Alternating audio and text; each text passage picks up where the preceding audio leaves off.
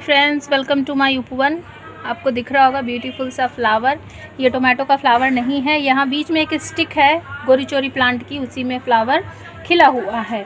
तो ये first flowering है इस सीज़न की. सीज़न मतलब गर्मियों का सीज़न तो आज मैं आपको कंपोस्टिंग करने पर एक टिप देने वाली हूँ या फिर पूरा प्रोसेस ही आपको जल्दी जल्दी समझा देती हूँ. ये देखिए किचन वेस्ट है मेरा और यहाँ देखिए, ये 50 लीटर की पानी की जो टैंकी होती है ना, हम सबके घर में टैंकर जो होता है, जिसे मोटर चलाकर भरते हैं, ये उस तरह की है। ये हमारे पास 25-30 सालों से है। जब हमने ये घर ख़रीदा था, उससे पहले ही ये यहाँ पर थी तो हमने इसको चेंज कर दिया, क्योंकि ये थोड़ी सी ऊपर से डैमेज थी तो हमने चेंज करके नई लगवा ली थी और फिर ये मैंने रख ली थी अपने गार्डन के लिए। नीचे की तरफ़ देखिए, मैंने इसमें एक टोंटी लगवा ली है। हस्बैंड नहीं लगाई है, मैंने खुद नहीं लगवाई या फिर मैंने खुद नहीं लगाई।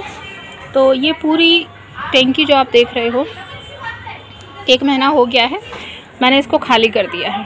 खाली कर दिया है मतलब इसमें कंपोस्ट था। पूरा एक साल के बाद मैंने इसको खाली किया और जैसा कि आपको अभी दिख रहा है कि ये हाफ़ से ज़्यादा फिल है। लास्ट ईयर भी मैंने इसको ऊपर तक फिल किया था। ऊपर तक फिल करने के बाद ये मुझे इससे थोड़ा सा नीचे पूरा कंपोस्ट मिला। मतलब आप किसी भी चीज़ को मान लो ये आपका कंपोस्ट बिन है, आपने ऊपर तक फिल किया तो डिकम्पोज होके वो हाफ़ हो जाता है।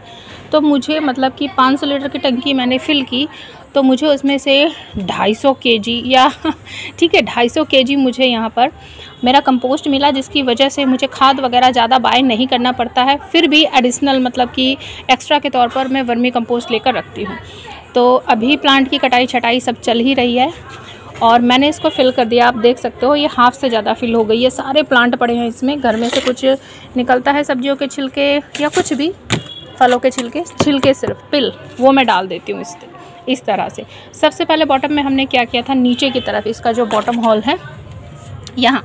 नीचे की तरफ़ हमने इसके ऊपर इतने मोटे मोटे पत्थर डाले हैं। मैंने खुद ने ही इसको भरा था फिल किया था, इसलिए मुझे अच्छी तरीके से पता है मैंने क्या किया इसमें। नीचे की तरफ़ हमने इसमें इतने मोटे मोटे पत्थरों की एक लेयर बनाई है। उसके ऊपर प्लास्टिक की नेट की जाली रखी है मैंने, जिसमें इतने मोटे मोटे छेद हैं। सिर्फ़ इतने मोटे मोटे छेद है, जिससे सिर्फ़ लिक्विड फर्टिलाइज़र जो भी हम पोस्टिंग करते हैं, उसमें से लिक्विड निकलता है तो वो नीचे जाता है, इस टैंकी को खोलकर मैं वो लिक्विड निकाल लेती हूँ, फिर अपने प्लांट पे इसको डालती हूँ। आने वाले किसी वीडियो में मैं आप सबके साथ शेयर करूँगी। तो नीचे की तरफ़ जाली है, जाली के ऊपर मैंने इसी तरह से कटाई छटाई करके प्लांट डाले हैं किचन वेस्ट डाला है, जो भी निकला, और उसके बाद ऊपर से देखिए, इस तरह से मिट्टी की लेयर बना दी है। फिर दोबारा से वही किया किचन वेस्ट डाला, मिट्टी की लेयर बना दी। अभी तक यही प्रोसेस चल रहा है इसमें।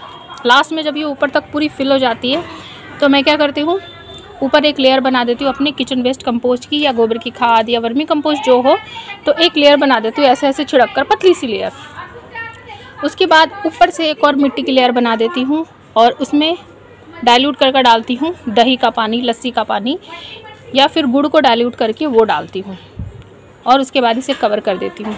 ठीक है? लगभग 20-22 दिन के बाद मैं इसमें प्लांट लगाती हूँ।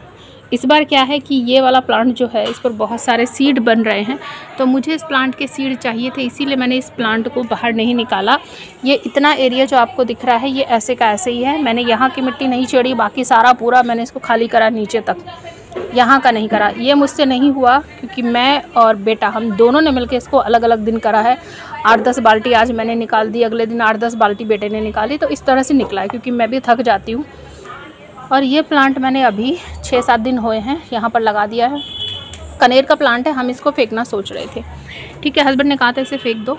मैं अच्छी क्वालिटी का ला के दूँगा, इसमें येलो कलर के फ्लावर आते हैं, मुझे पिंक ज़्यादा पसंद है हस्बैंड को भी।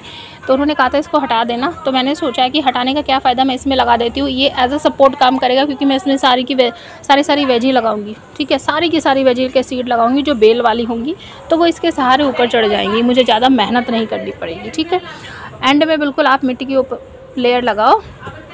और उसे कवर करके रख दो। देखो, ये सारी चीज़ें हैं ना, मैं इन्हीं से इसको कवर करके छोड़ देती हूँ।